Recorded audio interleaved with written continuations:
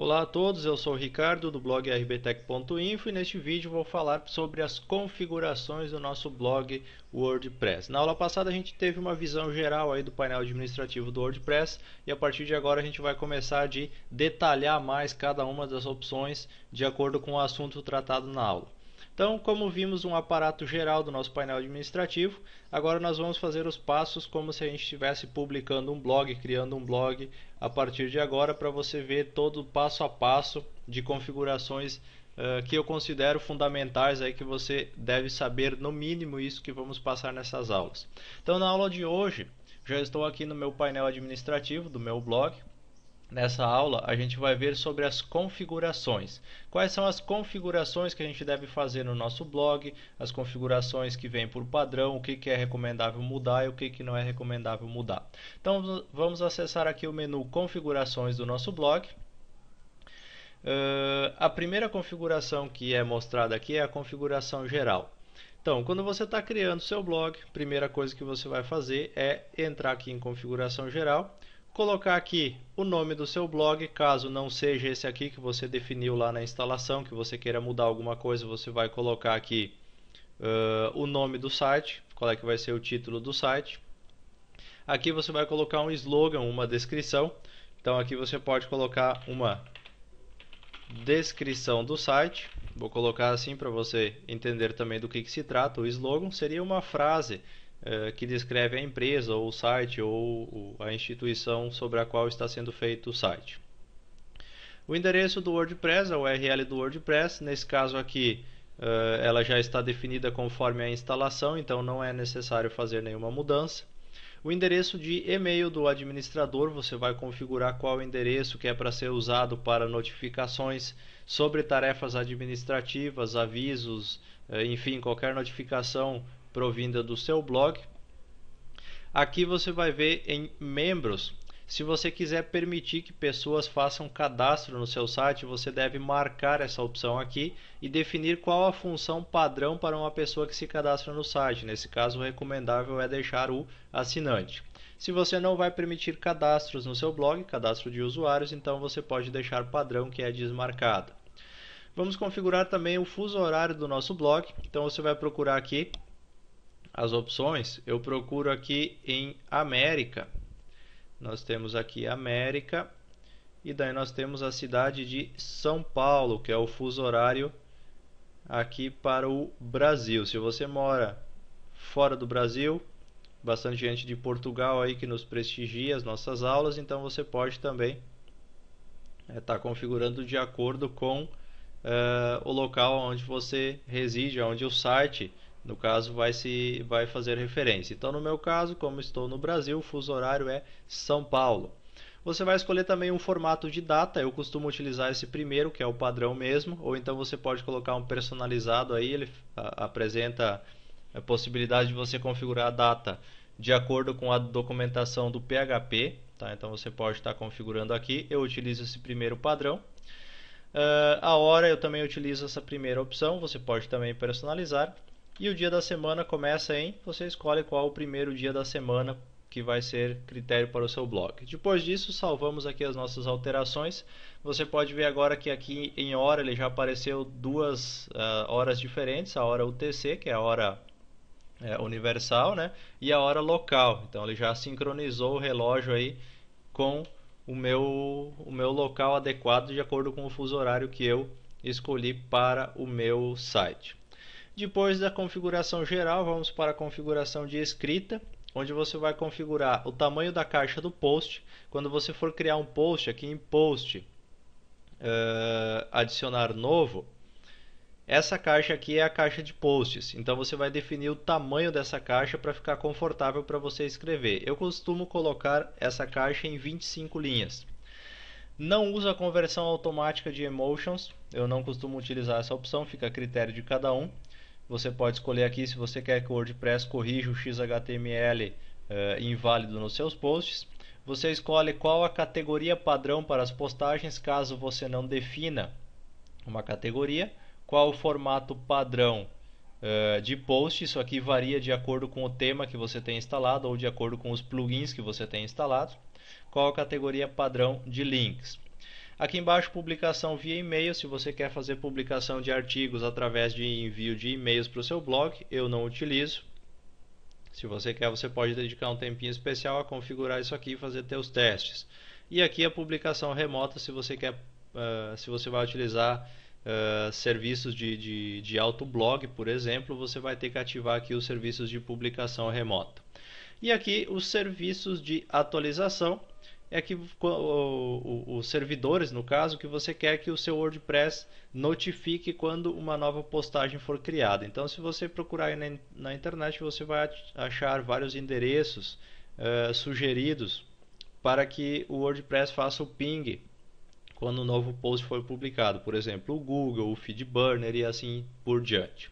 Então essas são as configurações de escrita. Eu costumo alterar aqui só a parte do tamanho da caixa e também a de não converter os emojis. Se eu atualizar aqui minha página agora, você vai ver que a caixa de post ficou maior. Então esse, esse formato aqui com 25 linhas ele fica um pouquinho mais é, confortável de escrever é, as postagens aqui dentro. Né? Depois temos a configuração de leitura, que é como as pessoas vão ver o seu blog.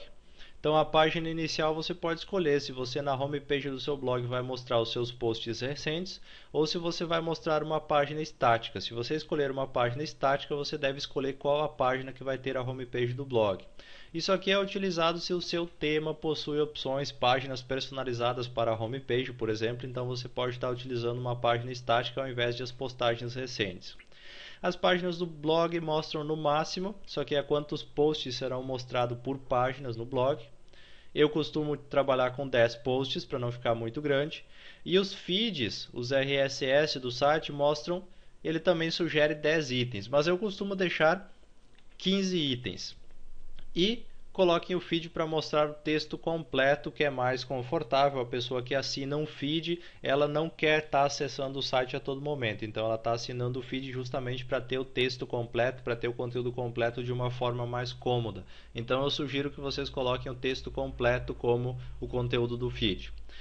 Uh, a questão de quantos RSS mostrar aqui, ela é muito variável de acordo com a frequência de atualização do blog de vocês. Então, por exemplo, você tem um blog que você posta 4, 5 posts por dia, então é interessante você ter mais itens no feed, por exemplo, 20, 25 itens no feed. Você tem um blog que não atualiza com tanta frequência, uma, duas vezes por semana, você pode ter só 10 posts no feed.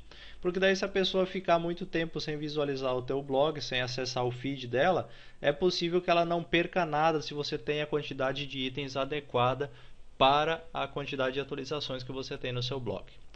Depois de definido aqui, salvamos as alterações e vamos para as configurações de discussão. As configurações aqui são relacionadas aos comentários. Então aqui o padrão é esse que você está vendo aqui na tela. Esse aqui é o padrão de configuração. A gente pode alterar algumas coisas aqui para tornar os comentários mais cômodos, mais interessantes aí para quem administra o site.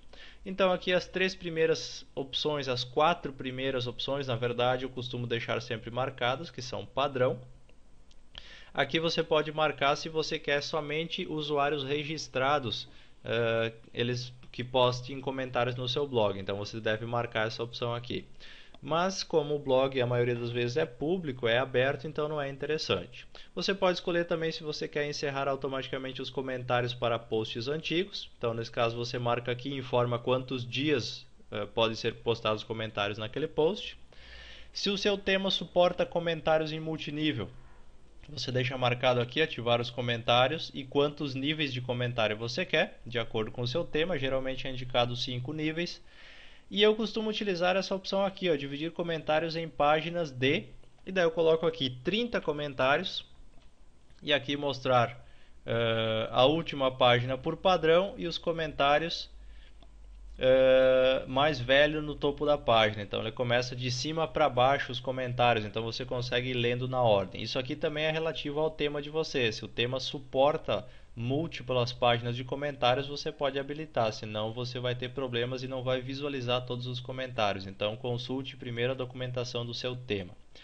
Aqui são as notificações por e-mail. Envie um e-mail quando alguém publicar um comentário ou um comentário aguarda moderação. Eu costumo deixar as duas opções eh, desmarcadas aqui se for um site que uma pessoa somente administra. Se for um site de múltiplos autores, você pode deixar a primeira opção marcada aqui, que daí quando o comentário for aprovado, o autor ele é notificado uh, que tem um comentário no post dele.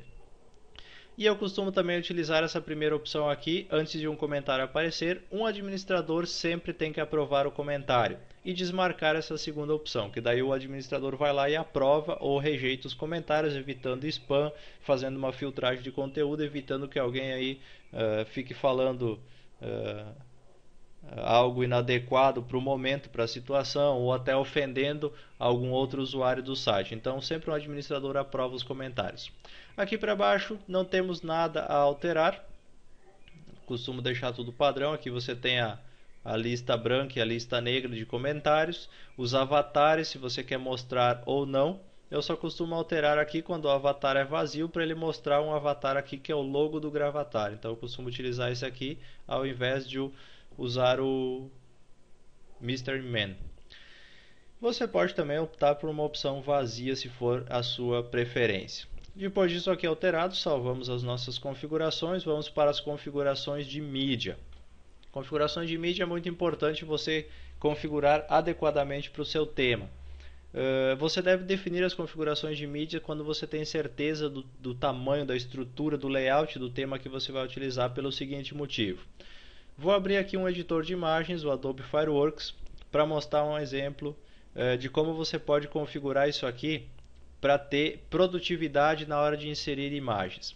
Então, por exemplo, no blog rbtech.info eu costumo ter eh, o padrão de miniaturas começando em 500 pixels por 300 pixels. Esse é o padrão de miniatura. Só que eu não marco aqui o recorte de, de dimensões. Eu deixo desmarcado aqui o recortar. Eu faço a minha imagem no tamanho certinho de 500 por 300. Se você não tem habilidades aí com edição de imagem, você pode até deixar marcado aqui recortar a miniatura nas dimensões exatas. Ele vai espichar um pouquinho a imagem se caso você tiver uma imagem é, fora das proporções. Só que daí que a gente vai definir o seguinte, ó, o tamanho médio e o tamanho grande da imagem. Isso aqui vai facilitar muito se você tem um blog de tutoriais, porque ele vai recortar as imagens e vai dar o tamanho certo da página para você. Por exemplo aqui, ó, o tamanho médio eu costumo colocar a largura da minha caixa de postagens, ou seja, qual é o tamanho máximo que pode ter uma imagem dentro da caixa de posts. Então, no meu tema hoje, eu teria aqui, ó, 500 por 300, seria o tamanho da minha imagem normal. E o máximo que o meu tema suporta é uma imagem de 660 pixels. Então ela teria aqui, ó, 660 por 396. Então aqui na minha do, imagem do tamanho médio eu vou colocar isso, ó, 660 por 396, que vai ser o tamanho máximo da imagem dentro dos posts que eu vou utilizar. E um tamanho maior, por exemplo, você pode definir aí 1000 pixels. Então 1000 por 600 seria o tamanho grande da imagem. Então aqui a gente faria 1000 por 600. Então essa seria uma, uma configuração interessante de você utilizar, sempre proporcional o tamanho das imagens. Vocês viram que eu usei o editor de imagem para pegar proporcional o tamanho e saber que tamanho colocar nas minhas imagens. Eu não uso a incorporação automática de links, por exemplo, de imagens do Flickr e do YouTube. Eu não utilizo essa opção. Se você for utilizar, você deve definir aqui também a largura máxima da mídia. Uh, o envio de arquivos.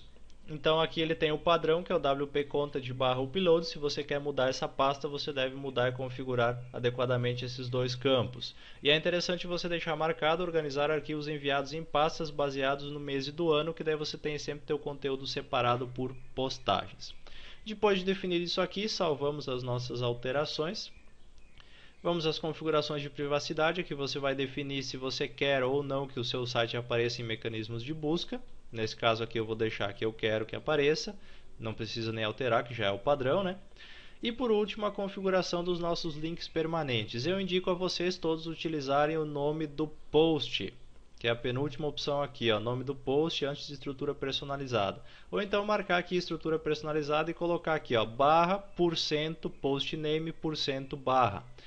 Essa é a estrutura que eu aconselho a utilizar para os uh, permalinks, os links permanentes do blog de vocês. Porque daí se vocês mudar um conteúdo de categoria, por exemplo, vocês não perdem a indexação nos mecanismos de pesquisa. Então tudo isso você pode definir.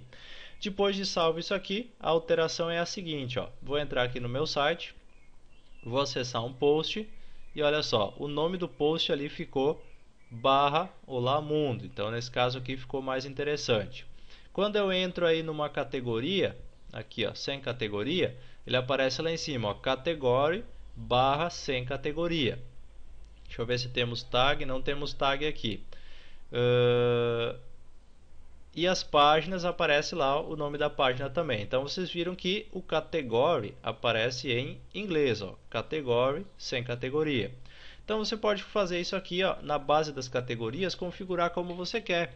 Por exemplo, eu vou colocar aqui ó, categoria e vou salvar as alterações.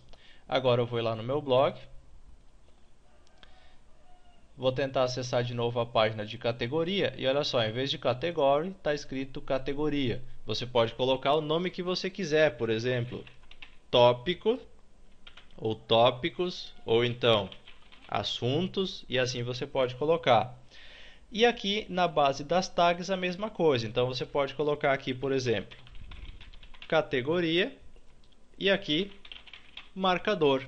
É uma maneira inteligente de você trocar o padrão do WordPress e ter nomes eh, já traduzidos para o seu idioma e que eh, condizem aí com a real situação do blog de vocês. Então você pode alterar a base da categoria e das tags ou então se você quiser deixar o padrão, fica de livre escolha também. Essas são então as configurações principais que eu aconselho que eh, todos façam num blog quando estão criando esse blog, quando estão começando o gerenciamento dele, ou até quem já fez e quiser fazer alguma alteração, pode estar utilizando os conceitos explicados nessa aula. Se você tiver dúvidas sobre o que foi visto aqui, por favor, entre em contato conosco através dos comentários ou se você é assinante prêmio através da página de suporte para a gente poder lhe ajudar a esclarecer as dúvidas que ficaram a respeito do assunto. Meu muito obrigado a todos que estão acompanhando e até a próxima videoaula.